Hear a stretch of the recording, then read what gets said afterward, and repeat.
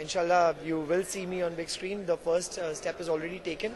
I did uh, अभी अभी uh, मधुर जी की एक फ़िल्म में मैंने uh, उनके लिए फ्रेंडली अपीयरेंस किया था and the next one is a surprise and let that be a surprise जैसे वो सरप्राइज़ हीरोइन का सरप्राइज़ आया था हीरो का भी सरप्राइज़ आएगा